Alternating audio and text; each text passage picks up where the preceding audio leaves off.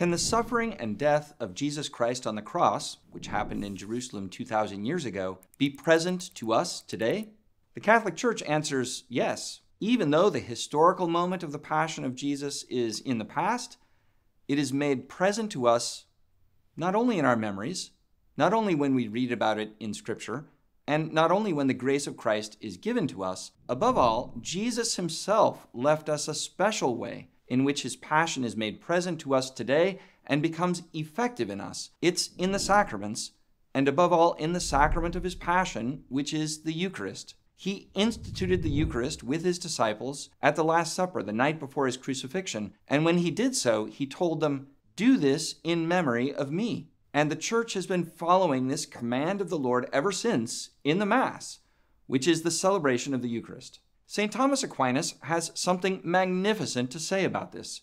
He writes in his Summa Theologiae that the Eucharist, quote, works in man the effect which Christ's passion wrought in the world. But what does this mean?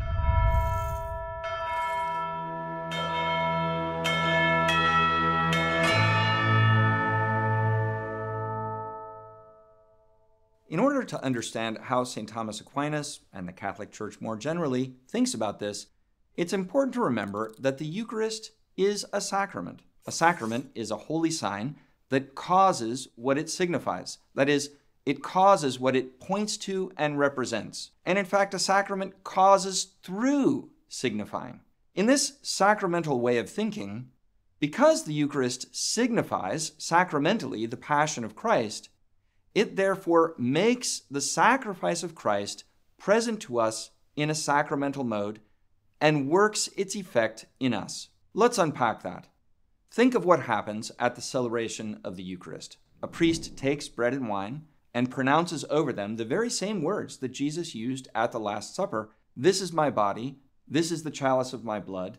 Do this in memory of me. The Last Supper is explicitly the model for what happens at Mass. We're doing what Jesus told us to do. In order to understand this, we should go back to the Last Supper and its rich symbolism. Jesus gathered his disciples for a special Passover meal. It was the evening before his death. And of course, in the background is the Jewish feast of Passover, which itself harkens back to the commands God gave to Moses when he brought his people out of slavery in Egypt. We read about this in chapter 12 of the book of Exodus. God commands Moses that each family must select an unblemished male lamb, free of defects. Then they are to sacrifice the lamb and collect its blood in order to put its blood on the doorposts and lintels of each of their houses. The Old Testament has a lot to say about the importance of the blood in any sacrifice, and especially this one. The blood represents the life of the animal and it's the key component in a sacrifice. Much later, after the temple is built in Jerusalem, the Passover sacrifice calls for a Jewish priest to take the blood from the slaughtered lamb and to pour it out on the altar of sacrifice in the temple. But there's another key element in the Passover meal.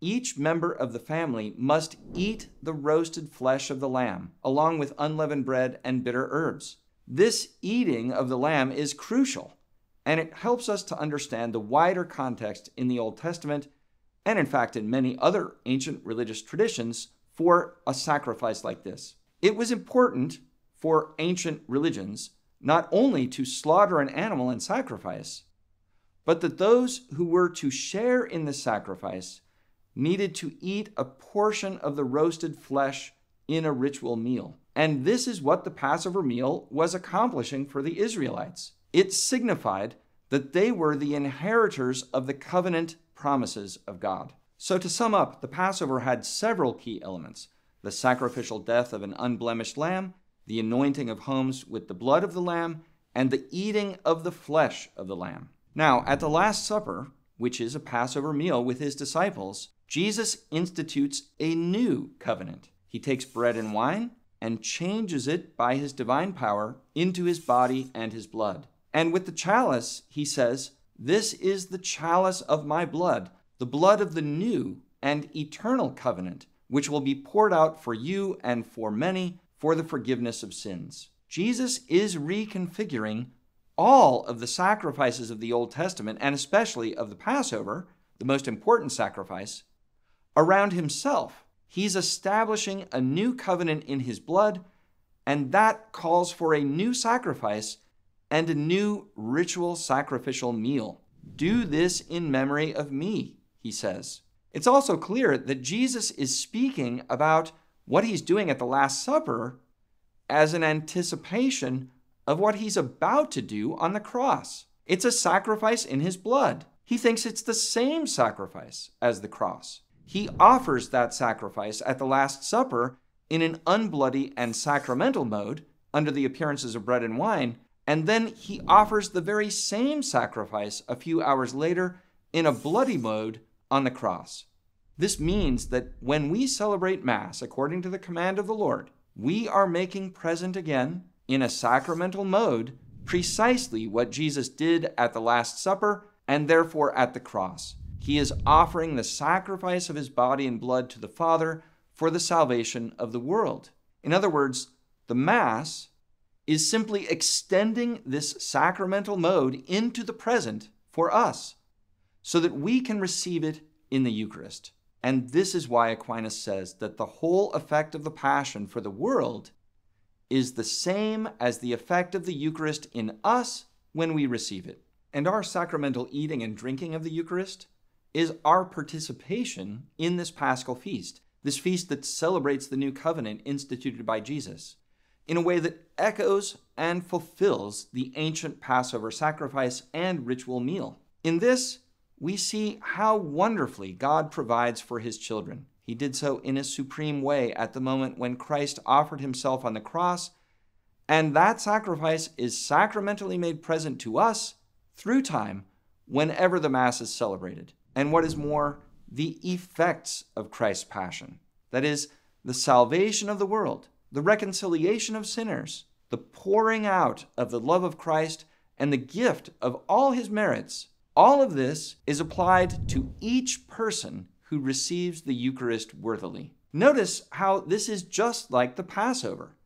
In order to share in the covenant, in order to participate in the sacrifice, you need to eat the Passover lamb. You have to put its blood on your doors. That is, it must mark your lips. For the Christian, of course, all of this begins with baptism.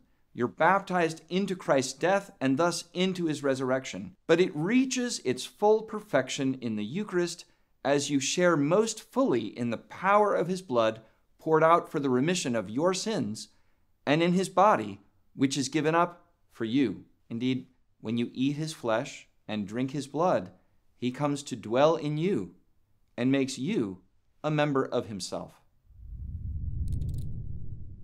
For readings, podcasts, and more videos like this, go to Aquinas101.com. While you're there, be sure to sign up for one of our free video courses on Aquinas, and don't forget to subscribe, like, and share with your friends because it matters what you think.